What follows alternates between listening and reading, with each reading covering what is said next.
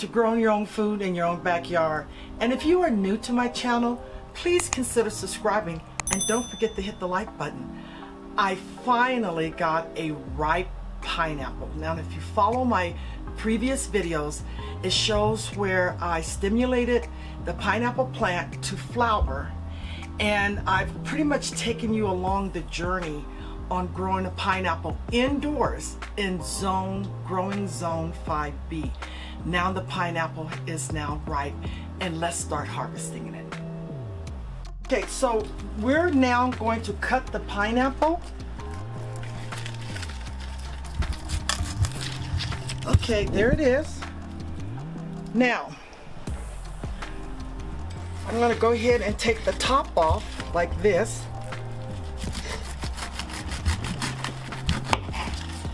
And the cool thing about this top is I'm going to grow another pineapple. So what I want to do is I want to start taking, um, no, hold up, let me take some more of this off.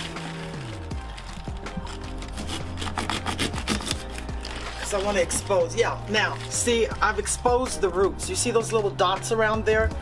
I'm exposing the roots, and I'm to take a lot of these leaves off as I expose more of the roots. And as you can see, the roots right there. Okay. Now that I have taken as much of the leaves off as possible, now what I want to do is I want to put it in water, just like this. And I want to start rooting it. And our pineapple, now, oh it smells delicious. Although it's small, I did manage to test growing pineapples indoors. So I'm just going to go ahead and cut the cut the sides off like this. And it smells delicious. I have not smelled pineapple like this from store-bought pineapple. Okay, now I'm going to go ahead and slice this pineapple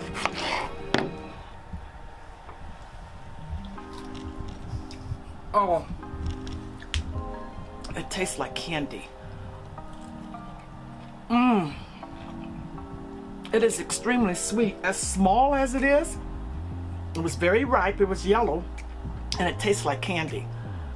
Mmm. The joy of growing your own food. So there you have it. Yes, you can grow pineapples indoors. You can grow pineapples in Zone 5b. You can look at my previous um, videos and uh, see how it all started. And I'm going to continue trying to get some of my other pineapples to fruit.